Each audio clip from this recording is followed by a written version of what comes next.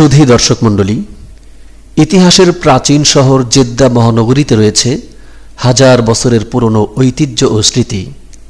পঞ্চাশ কিলোমিটার ব্যাপী বিস্তৃত জেদ্দা মহানগরীর প্রায় মাঝামাঝি বাওয়াদি নামক জায়গায় রয়েছে এই জেদ্দা ইন্টারন্যাশনাল মিউজিয়াম, যা আপনারা দেখতে পাচ্ছেন। এখানে রয়েছে হাজার বছর পূর্বের স্মৃতিচারণমূলক জিনিসপত্র, যেগুলো থেকে কিছু দৃশ্য আপনাদেরকে দেখাবো ইনশাল্লাহ এই জায়গাটাতে মূলত উমাইয়া খলিফাদের কোনো প্রশাসকের বাসভবন ছিল। পরবর্তীতে এখানে এমন একটি কাঠের মসজিদ তৈরি হয়, যা গোটা আরব অঞ্চলের মধ্যে ছিল সবচেয়ে ব্যয়বহুল ও ব্যতিক্রমধর্মী। কাঠ দিয়ে এই মসজিদটি তৈরি করা হয়েছিল বলে একে মসজিদে খসাব বলা হতো, অর্থাৎ কাঠের মসজিদ। এই মসজিদকে কেন্দ্র করে পরবর্তীকালে খেলাফতে উসমানিয়ার সময় এখানে আন্তর্জাতিক মানের একটি মিউজিয়াম গড়ে ওঠে, সেই মিউজিয়াম হলো এটা। এছাড়াও গবেষণাগার, ধর্মীয় শিক্ষা কেন্দ্র সহ আশেপাশে আরও অনেক প্রতিষ্ঠান এই মিউজিয়ামকে কেন্দ্র করে গড়ে ওঠে। মসজিদে খসাব ছাড়াও এই মিউজিয়ামে দেখা যায় মুসলিম বিশ্বের আরও কিছু দুর্লভ ও মহামূল্যবান স্মৃতির সংগ্রহ। দর্শক মণ্ডলী, দেখুন, মসজিদের চতুর্পার্শ্বে শুধু কারুকার্যমণ্ডিত কাঠ আর কাঠ। এমন নিপুণভাবে কাজ করা কাঠের সামগ্রী আর কোথাও তেমনটা দেখা যায় না। এত কাঠের সমারোহ বলেই কাঠের মসজিদ বলে জেদ্দায় সকলের কাছে এটা পরিচিত। একজন কর্মকর্তা বলছেন, জেদ্দা ইন্টারন্যাশনাল মিউজিয়াম কোনো সরকারি প্রতিষ্ঠান নয়, বরং ব্যক্তিগত মালিকানাধীন। ব্যক্তি উদ্যোগে এত বড় একটি প্রতিষ্ঠান গড়ে তোলা নিঃসন্দেহে অনেক বড় মহৎ কাজ। তিনি আরও বলেন, মক্কা ও মদিনার স্মৃতি এখানে রয়েছে শুধু তা নয়, বরং আরবের বাইরে থেকে সংগ্রহ করা অনেক স্মৃতিচিহ্ন এখানে সংরক্ষণ করা হয়েছে। প্রিয় দর্শক মণ্ডলী, আমরা এখন দেখতে পাচ্ছি কাবা শরীফের একটি গিলাফ, যা আঠারোশো চুরানব্বই খ্রিস্টাব্দে তৈরি করেছিলেন মিশরের আব্বাস হালিম পাশা নামের এক ব্যক্তি। সোরা হজ্জের সাতাইশ নম্বর আয়াত এই গিলাফে লেখা আছে। আপনারা এখন দেখছেন কাবা ঘরের তালা এবং চাবি। এক হাজার বাইশ হিজড়িতে তুর্কি প্রশাসন আমলে পাঁচ কেজি পিওর রূপা দিয়ে এটা তৈরি করা হয়েছিল। এটা কাবা ঘরের আরেকটি চাবি। সাতশো চল্লিশ হিজড়িতে আব্বাসীয় খলিফারা এটা তৈরি করেছিলেন। আর এটা হলো ব্রোঞ্জের তৈরি।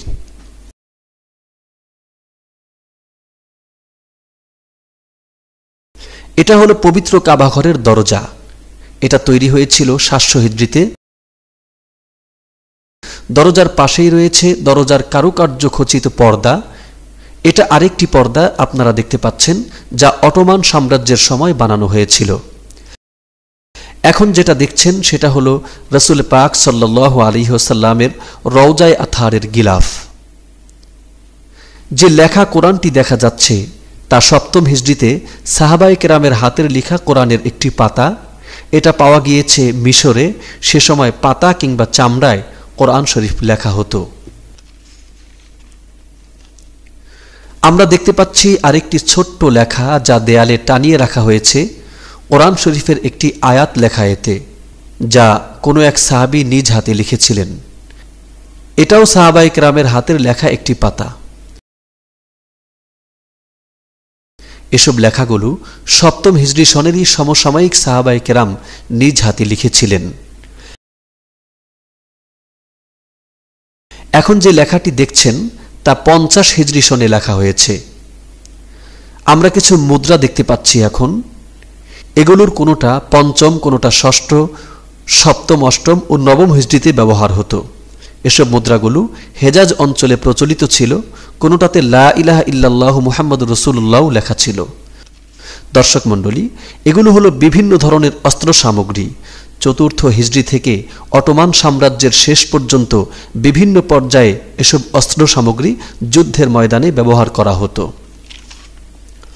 তরবারি, চাকু, বর্ম, ঢাল ইত্যাদি রয়েছে এখানে। যেমন আপনারা ঢাল দেখতে পাচ্ছেন, যা বাইশ হিজড়িতে ব্যবহার হয়েছে। এই লম্বা তরবারিটি নয় হিজড়িতে ব্যবহার হয়েছে।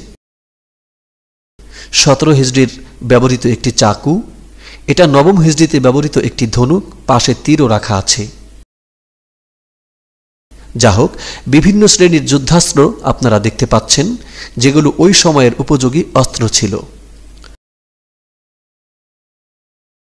উমাইয়া খেলাফত আমলে এবং উসমানী খেলাফত আমলে খলিফাদের বাসায় পরিবারের লোকেরা যেসব তৈজসপত্র ব্যবহার করতেন, সেগুলো দেখা যাচ্ছে।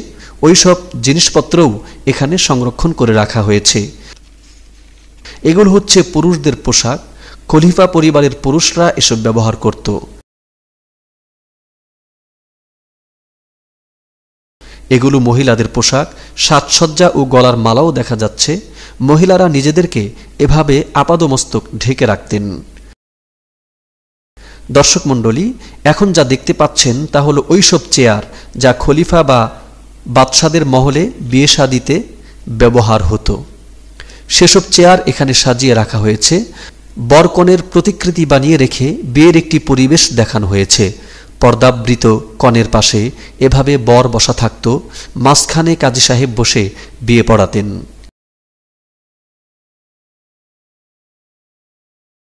এটি একটি সিন্দুক যাতে মুদ্রা ও গহনাপত্র রাখা হতো। খেলাফতে উসমানিয়ার আমলের দুটি স্যান্ডেল আপনারা দেখছেন। হাজার বছর আগের কোনো সম্রাটের পায়ে এগুলো শোভা পেত।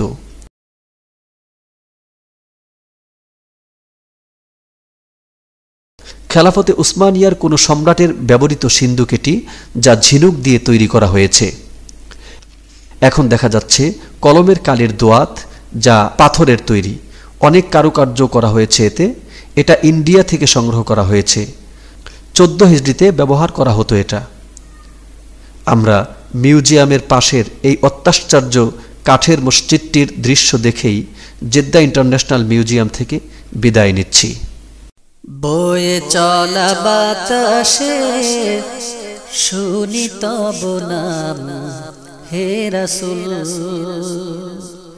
আকাশের তারকা পূর্ণিমা চাঁদ।